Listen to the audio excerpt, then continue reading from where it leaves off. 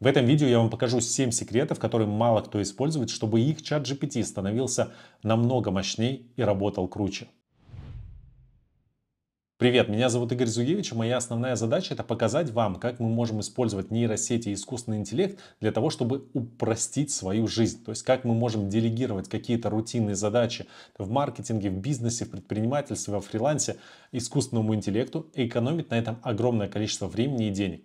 В этом же видео мы с вами поговорим о секретах, которые есть в чат GPT, которые не используют, наверное, 99% пользователей. И первый секрет это пользовательские инструкции. Я уверен, что 99% людей вообще не используют пользовательские инструкции, потому что кажется, что их сложно забивать. И кажется, что они никак не влияют на те ответы, которые, соответственно, а, дает чат GPT. Я понимаю, что да, иногда удобнее использовать э, там те же плагины, либо GPT-агентов, но чтобы сделать чат GPT, чтобы чтобы сделать э, данный ответ именно максимально удобный и подходящий вам, я бы все же рекомендовал вам использовать пользовательские инструкции. Значит, где находятся те самые пользовательские инструкции от ChatGPT? Для этого нам необходимо зайти в раздел нашего аккаунта, и здесь есть э, так называемые пользовательские инструкции.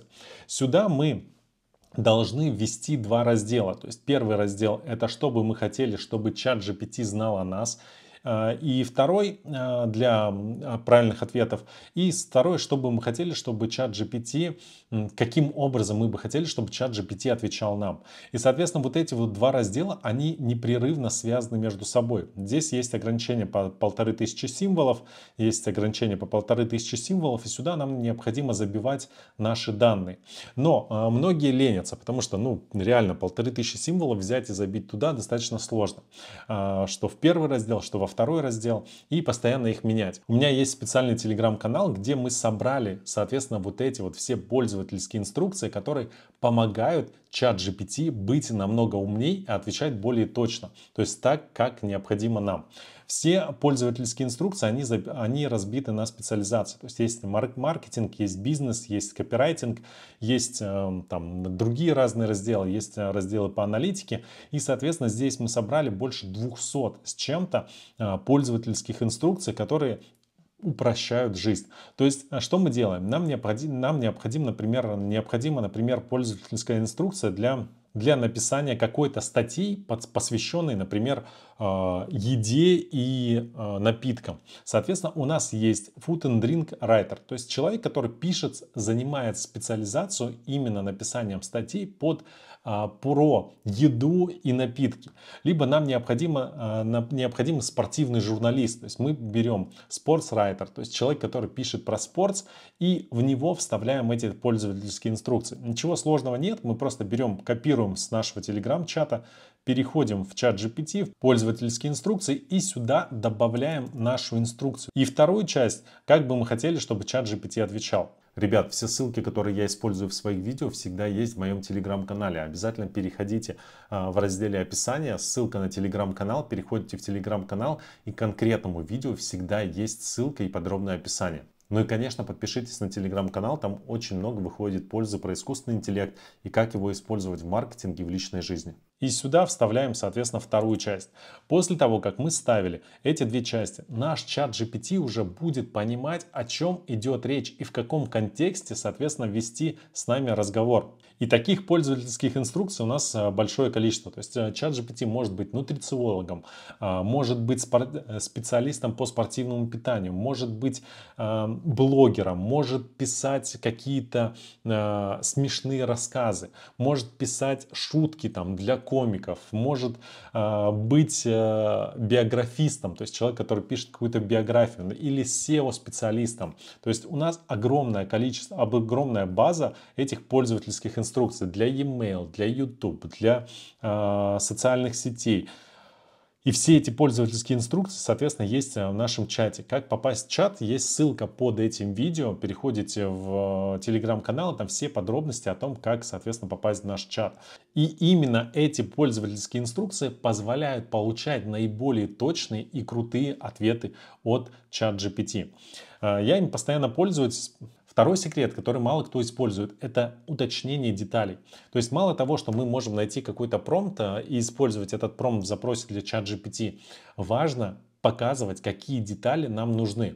Например, если мы пишем пост для э, инсты, либо для Telegram, то нам, возможно, важен заголовок. То есть мы говорим ему, что необходимо написать заголовок к, этой, к этому посту. Когда мы пишем, например, SEO, делаем SEO-описание для своего YouTube ролика, то мы пишем, например, что нам необходимы, э, нам необходимы Э, хэштеги к этому ролику. Соответственно, он нам делает, подбирает хэштеги к этому ролику. Когда мы э, пишем, например, статью для нашего блога, мы ему уточняем, что нам необходимы заголовки, подзаголовки для этого ролика. Когда мы пишем, э, готовим текст для слайдов, мы делаем ему запрос, что нам необходимо сделать э, по слайдово разбить эту тему. То есть мы уточняем и говорим ему конкретную задачу.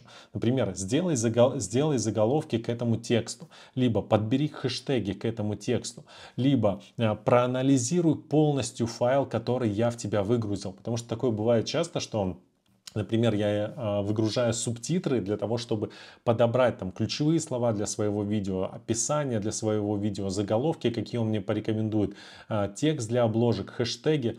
Э, все это он делает по выгрузке моих субтитров. И я замечаю такую штуку, что когда ему говоришь просто проанализируй мои, мой файл, то он просто анализирует твой файл. Когда ты ему говоришь полностью проанализируй твой, мой файл, он делает полный анализ твоего файла. Когда же ему говоришь просто, да, он просто посмотрит там первые две строки и скажет, о, я знаю, я примерно понимаю, о чем идет речь. То есть необходимо точно уточнять детали, которые вы хотите получить. А если он пишет, что вот а, из первых строк видно, что обсуждается платные и бесплатные версии чат GPT, хотя видео совершенно не об этом. Там просто в первых строках об этом было указано. После этого я говорю, что слушай, да, э, речь идет не про это. Проанализируй полностью этот файл и посмотри весь текст к видео. И только после этого он мне начинает давать э, тот ответ, который меня устраивает и тот ответ, который, по моему мнению, соответственно, верный. Поэтому важно уточнять детали. То есть, если нам нужны подзаголовки, заголовки, мы ему это и говорим, что в тексте должны быть подзаголовки, заголовки, в тексте должны быть цифры, в тексте должны быть разделения на слайды, на слайде. А, с, нужно проанализировать полностью. Это второй секрет, где мы должны давать какие-то конкретные детали для чат GPT. Третий секрет это плагины. Сейчас э, я вижу, что все начинают использовать GPT-агентов и немножко позабыли про плагины. Хотя плагины являются одним из сильнейших на сегодняшний день инструментов, которые существуют. Соответственно, я использую огромное количество плагинов для своей работы. Но самый, наверное, э, один из самых э, часто мною использованных, используемых это плагин про диаграммы. Я уже показывал, что мы можем делать эм, различные диаграммы, блок-схемы непосредственно в чат GPT, добавлять в них дополнительные элементы. Обязательно посмотрите подробно об этом видео. И плагины позволяют нам в рамках одного окна очень точно получать ответы от чат GPT. Плагины по Excel, по расшифровке PDF-файлов, хотя он сейчас не нужен. А, плагин AI Diagrams для того, чтобы создавать блок-схемы MindMap карты для, а, для использования при использовании чат GPT. А, плагин по работе с Google таблицами, да, когда мы можем а, выгружать какие-то Google таблицы и анализировать а, данные в этих таблицах, то есть вытаскивать какие-то нужные нам ячейки, делать какой-то анализ. Например, вот я видел видео, там парень просто загрузил огромный excel файл и с помощью плагина в этом файле он находил нужную информацию. Например, в файле был, было, э, были в различных ячейках сформированы данные данные о том, сколько там мужчин, сколько женщин, какого они среднего возраста, и чтобы не проводить самому весь этот анализ, он загрузил этот плагин, э, этот э, файл Excel в чат GPT, и он ему точно написал, сколько женщин, сколько мужчин, какого они возраста, то есть сделал полный анализ этого файла. Поэтому плагины, э, многие сейчас про них начинают забывать, э, но они круто работают. Плагин по фитнесу, то есть я заранее спросил, что мне нужно сделать для того, чтобы прокачать там э, боковые мышцы, либо косые мышцы пресса. И он мне тут же рассказал, какие упражнения необходимо делать, и кроме этого, то есть это все работает плагин Plan Fit, и после этого он мне скинул видеоинструкции о том, как эти упражнения правильно выполняются. То есть это очень удобно. Поэтому не стоит недооценивать плагины, хотя и появились GPT-агенты, но плагины все еще могут нам помогать работать с GPT. Четвертый секрет, который также мало кто использует, это так называемое использование аналогий. То есть, когда мы хотим запомнить какую-то сложную информацию, а, мы просим чат GPT создать нам аналогию а, и а, для лучшего запоминания той или иной информации. Мне кажется, что это отличный инструмент там, для а, тех, кто выступает на каких-то меропри... на мероприятиях. То есть вам необходимо а, рассказать простым языком какие-то сложные предметы, вы можете привести пример а, заранее заранее попросив чат GPT а, создать вам аналогию для вашего там следующего выступления. Значит, как это делается? Самый простой запрос, наверное, с которым мало кто понимает, что такое система обратного осмоса. И, а, соответственно, нам чат GPT начинает э, не то что научно, но более-менее понятно рассказывать. Но это достаточно сложно запомнить, если вы не являетесь там специалистом в этой области. И тогда мы что ему делаем? Мы просим его привести аналогии для лучшего запоминания этой информации. И он нам приводит конкретный пример, конкретную аналогию для того, чтобы мы, нам было проще все это запомнить и а, не пытаться вот вспомнить, что он нам а, изначально говорил. Смотрите, например, вот э, я ему задал вопрос, что такое система обратного осмоса, и он начал мне рассказывать, что это э, предварительная фи... Из нескольких шагов, это предварительная фильтр... фильтрация. Вода сначала проходит через один или несколько предварительных фильтров для удаления крупных частиц, таких как песок, грязь и другие осадки.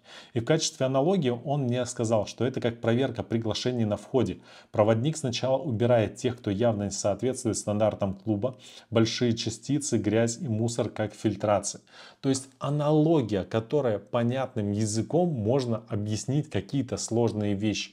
Э, в данном случае я с помощью аналогии пытался объяснить э, приму, э, систему обратного осмоса. Вы можете с помощью аналогии объяснять любые предметы, там, математику, физику, химию, да что угодно. Следующий секрет использования чат GPT это когда мы с помощью чат GPT можем задавать одни запросы, то есть решать одну проблему, а дальше с помощью следующего запроса э, решать следующую проблему. Как это выглядит? Например, мы хотим узнать 10 интересных фактов об искусственном интеллекте. Соответственно, сейчас нам чат GPT будет выдавать информацию про 10 интересных фактов об искусственном интеллекте. Что мы можем? Э, мы можем как бы ознакомиться с этой информацией, посмотреть на нее, но мы можем решить следующую проблему. Например, нам, просто, нам не просто нужно, нужно узнать 10 интересных фактов об искусственном интеллекте, а, например, для презентации визуализировать эти факты. Мы можем э, сказать чат GPT, построй визуализацию по каждому из этих э, пунктов. И он нам тут же сгенерирует изображение по каждому из этих фактов. Либо мы можем либо мы можем а, попросить его подготовить текст для слайдов по каждому из этих фактов. То есть мы решаем какую-то одну задачу, мы узнаем, ищем какую-то одну информацию и решаем с этой информацией следующую задачу, следующую проблему. Вот. По первой задаче, например, э, для того, чтобы не показывать там все 10 пунктов, я ему задаю конкретный вопрос. По первому факту построй изображение для слайд-шоу или презентации. Первый факт – это раннее начало. Первые идеи об искусственном интеллекте возникли еще в древнегреческих мифах. Автоматы, описанные в этих мифах, можно считать примитивным представлением искусственного интеллекта. Соответственно, если бы мы начали в каких-то фотостоках искать какое-то изображение, с, которое бы а, подробно показала этот момент, мы бы, скорее всего, не нашли, либо нашли бы что-то не, ну, как бы неинтересное. Но здесь он нам показал, что с помощью изображения, то есть, как говорится, да, одно изображение лучше там тысячи различных слов, а, с помощью изображения он показал этот факт об искусственном интеллекте. Мы создаем презентацию, например, и мы по каждому из пунктов будем делать а, с его помощью такие изображения. То есть мы не ищем изображения в интернете, он нам генерирует это изображение, исходя из того факта, который мы привели. Либо, хотя промпт у меня сейчас корявенький, потому что я тороплюсь это все сделать. По первому э, факту создать текст для слайда, для PowerPoint презентации. И он нам тут же создает текст для слайда, для PowerPoint презентации, который мы просто берем, копируем в PowerPoint презентацию, загружаем туда изображение. Посмотрите, у меня есть отдельное подробное видео о том, как подключить чат GPT к PowerPoint. И там мы подробно этим, соответственно, занимались. И мы этот факт можем уже вставить в презентацию, добавить изображение, у нас готова презентация буквально за несколько секунд, а не часов. Следующий секрет, который мало кто использует, это анализ изображений. То есть э, я уже как-то записывал подробное видео о том, как э, мы брали скриншоты с э, Telegram, рекламных объявлений Telegram, соответственно, вставляли их в чат GPT, и чат GPT рассказывал, как эти, как эти рекламные креативы можно улучшить. То есть он смотрел на визуальную часть, на, том, на, на то, количество символов, которое есть в этом рекламном объявлении, на кнопку призыва действию, смотрел на то, куда ведет это рекламное объявление, то есть мы ему рассказывали, куда это ведет, и, соответственно, по одному изображению он делал нам полный анализ нашей рекламной кампании. Сейчас все свои рекламные кампании, которые у меня запущены там в Telegram либо в Яндекс.Директ, я анализирую с помощью чат GPT. Но кроме рекламных кампаний мы можем анализировать сайт. Мы можем зайти, например, на свой, на свой любой сайт, на свой любой сайт и узнать, да, что в этом сайте не так, что не так с этой продающей страницей, почему она не конвертит, почему люди не оставляют там свои e-mail, э, какие-то контактные данные. Соответственно, мы можем перейти на любую страницу нашего сайта, сделать скриншот этой страницы, отправить в чат GPT и сказать, что здесь не так, что бы ты улучшил для увеличения конверсии на этой странице сайта. Поэтому изображение мы можем скидывать в чат GPT напрямую изображение, и он будет по изображению изображению понимать, что мы от него хотим. Тоже очень удобно. Ну и последний седьмой эффект – это так называемый комплекс. То есть мы можем делать различные связки через чат GPT. Например, мы можем создать пользовательскую инструкцию для чат GPT, я это показывал в своем первом секрете, и мы можем использовать GPT-агентов, либо мы можем э, с пользовательскими инструкциями использовать плагины, либо мы можем использовать э, с пользовательскими инструкциями каких-то сторонних GPT-агентов. Что это дает? Это дает, например, при работе с GPT-агентами я в последнее время так и использую. То есть у меня есть агент, который пишет мне SEO-тексты для а, моих YouTube роликов, для продвижения этих роликов. И что я делаю? Я э, делаю пользовательскую инструкцию отдельную для того, чтобы он лучше делал SEO-инструкцию. И в этой пользовательской инструкции он играет роль именно SEO специалиста. И таким образом мои описания к видео, они становятся лучше. Он лучше подбирает хэштеги, он лучше подбирает низкочастотно, высокочастотно, среднечастотные ключевые слова. Он все это делает лучше за счет того, что у него есть, э, он, он становится в разы мощнее, за счет того, что у него есть пользовательские инструкции, за счет того, что у него есть GPT-агент, который заточен под написание каких-то конкретных сценариев. И в их симбиоз, как бы их связь, делает все намного сильнее. То же самое, э, если у вас есть пользовательские инструкции, добавьте к ним плагины, и вы удивитесь, как, что ответ, каким образом ответ будет отличаться, каким образом он будет намного сильнее, чем обычное использование плагинов, либо обычное использование, использование пользовательских инструкций. На этом все. Я надеюсь, что это видео было вам полезно. Обязательно поставьте «Мне нравится» под этим видео. Напишите комментарий. Комментарий реально помогает к продвижению видео. С вами был Гризуевич. Пока.